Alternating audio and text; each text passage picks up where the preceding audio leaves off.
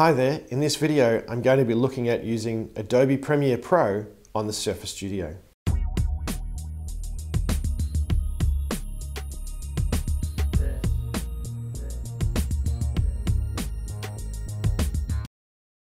When I'm using Adobe Premiere on the Surface Studio, I like to bring the content right up close to me because I can work with the pen and with touch at the same time.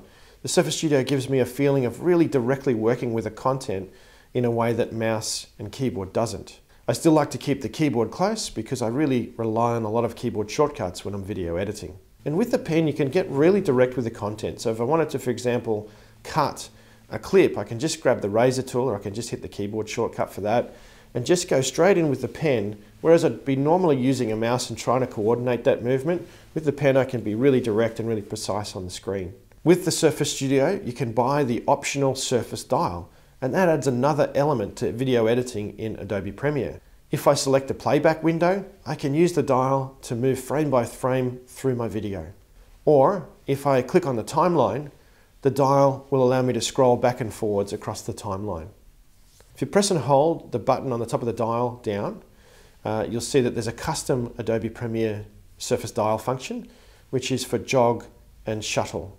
So if I select that mode and rotate the dial, it will adjust the playback speed of my video so I can go forwards, make it go faster, or roll it back the other way to go in reverse. So that adds some interesting elements to using Adobe Premiere on the Surface Studio. I really like working up close with the content like this. But I will say, um, the footage that I'm showing you here on this particular video that I'm editing at the moment was some drone footage I took with my DJI Mavic. I shot this video at 1080p in 60 frames per second. 60 frames per second adds a lot of content, a lot of disk space or, um, or file size to those particular videos. And occasionally when I'm playing back, especially in high speed, I will see some slowdowns in the playback speed of the Surface Studio. Now I suspect that these particular discs are not really ideally suited to video editing and that's unfortunate in a device like this.